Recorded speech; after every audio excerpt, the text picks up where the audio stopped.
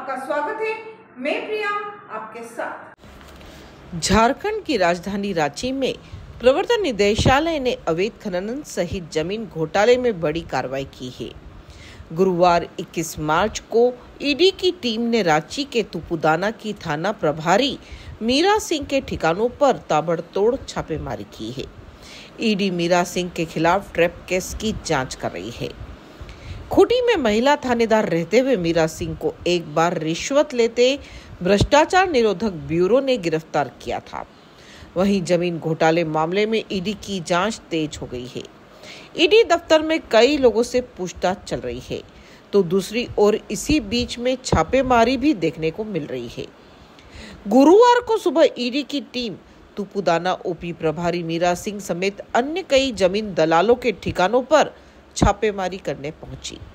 बताया जा रहा है कि दर्जनों ठिकानों पर ईडी की रेड जारी है।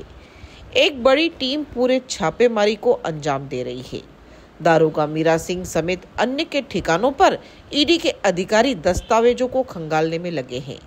इसके अलावा सभी डिजिटल उपकरण की जाँच की जा रही है। जाँच कितनी लंबी चलेगी, कहना मुश्किल है। इसमें यहाँ तक कि यह भी सूचना मिली है कि माइनिंग डिपार्टमेंट के द्वारा नगर निगम क्षेत्र के अंतर्गत जितने भी माइनिंग चल रही थी, उसे बंद किया गया था। आज तुपुदाना क्षेत्र में जितने भी माइनिंग के पहाड़ हैं, उसे आज भी चलता हुआ देखा जा रहा है।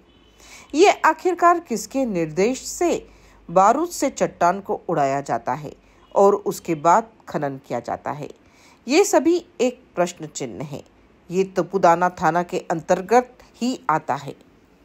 और ऐसे में जो ईडी रेड हुआ है, बालू खनन का जो मामला चल रहा था, उसमें भी एक कड़ी जुड़ रही है, जिसमें देखा जा रहा है क्या सत्य है और क्या आगे की कार्रवाई होनी है।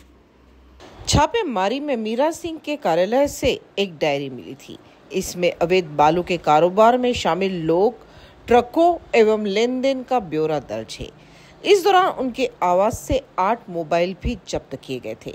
इतना ही नहीं, अधिकारियों के अलावा अवैध धंधों में लिप्त लोगों के साथ व्हाट्सएप चैट की भी डिटेल्स ईडी को मिली है। बाकी की तमाम खबरों के लिए बने रहिए राजनामा टीवी के साथ। धन्यवाद।